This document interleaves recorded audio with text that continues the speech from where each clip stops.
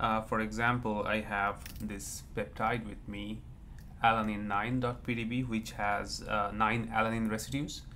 And this uh, is a helical representation. So if I open it with VMD, you can see that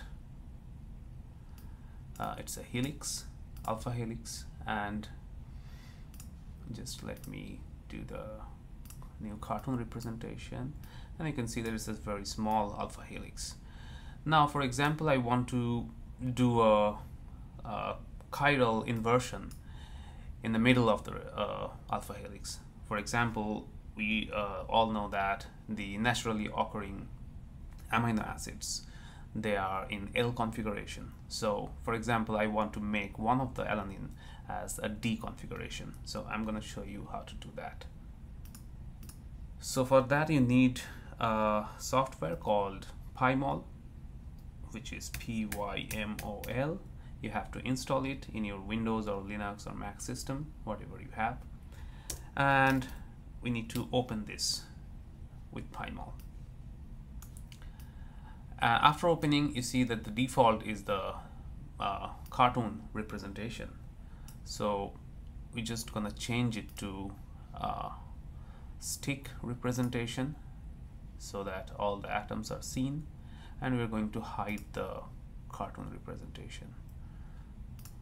Okay, so we have this and for example there are nine alpha carbons and we want to make the mutation in the center so one two three four I guess this is the fifth one right? So we want to make the mutation here. Now there is a very easy way. You can do just uh, in one click. You go to the builder and there is an option called invert.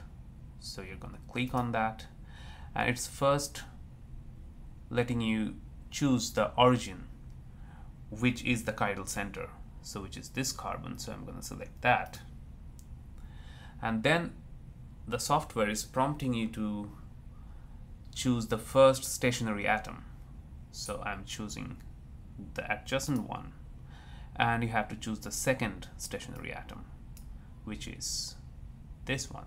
And as soon as I click you notice that these two groups one is hydrogen one is methyl they are going to switch positions see? So the L to D conversion is done in this point and we're going to save it. So save uh, Ella9 mutated.pdb and it's saved. So it's showing that wrote the pdb file and we're going to close it and we're going to open it with vmd both of them together.